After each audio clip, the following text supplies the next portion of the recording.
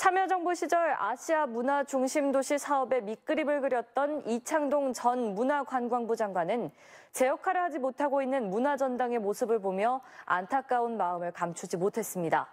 황석영 작가를 비롯한 20여 명의 각계 인사들도 전당 활성화를 위해 한 목소리를 냈습니다. 이준호 기자입니다.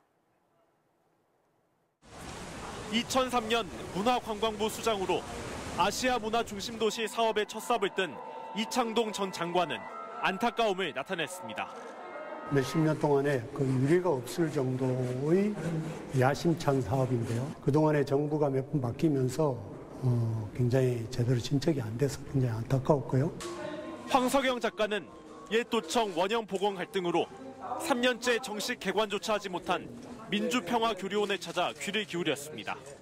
저걸 현장을 겪은 사람들의 그런 어, 심정, 격렬한 심정을 이해를 해요. 너무 근본주의적인 생각과 관념적인 생각이 부딪히고 있는 것 같아요. 김희수 헌법재판관은 의논하고 지혜를 모아 갈등을 극복할 수 있다고 말했고 시민운동가의 데모 정강자 참여연대 대표는 문제가 해결돼야 더 많은 관람객이 올 수 있다고 조언했습니다. 많은 의논들을 하고 또 지혜를 모은다면 우리가 광주 정신을 정말 기릴 수 있는 좀 방법을 찾아낼 것이라고 생각이 듭니다.